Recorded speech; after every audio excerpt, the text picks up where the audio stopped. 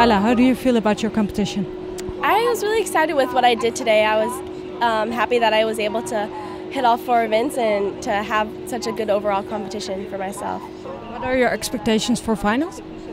It's a little bit hard because I'm the first of the subdivision, so I'm going to be a little waiting and watching the other competitions. So I just hope that uh, my scores hold up and I'm able to go in some of those uh, event finals.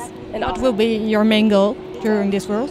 My main goal is really to get into all around finals. I know that's the big competition here, so um, that's a little bit of a fight because there's three Americans doing all around. But um, also bars and beam finals is one of my big goals.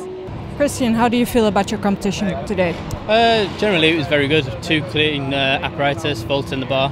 Um, made the vault final, so obviously I'm over the moon with that. And bar just missing out on first reserve spot, I think. So uh, obviously pretty gutted about that, but at the same time, I'm uh, yeah happy with the, today's performance.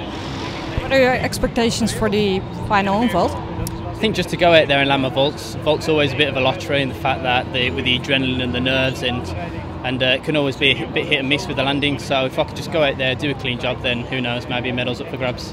Hoe ging je wedstrijd? Eh, een beetje teleurgesteld omdat ik ben gevallen op grond. Maar de andere eh, drie toestellen waren zeker goed. Dus ik hoop dat ik nog de allround finale haal. Hoe schat je die kans daarvoor in?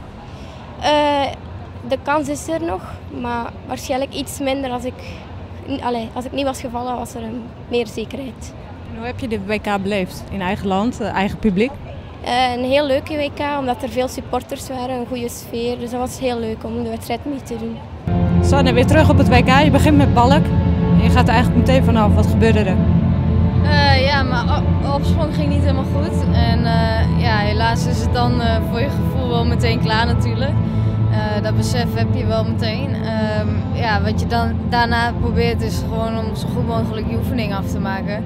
Maar ja, dat is natuurlijk wel moeilijk, want je moet weer opnieuw je focus proberen te pakken. En eh, ja, toch een soort van ritme in je oefening eh, krijgen. En ja, dat was wel lastig. En waar lag die fout nou aan? Aan het begin van je oefening?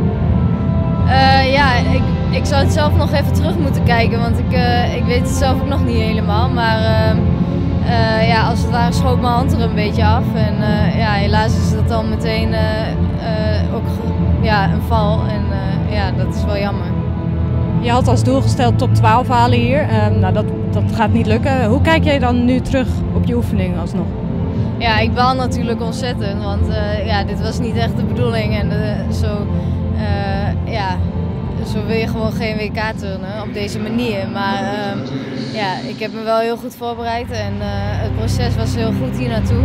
En eh, het is een hele lange weg geweest, want ik heb wel echt eh, een half jaar geleden echt een knop omgegooid en gezegd dat ik vol voor deze WK ga. En ja, waar ligt het dan aan? Het is echt gewoon een momentopname, want...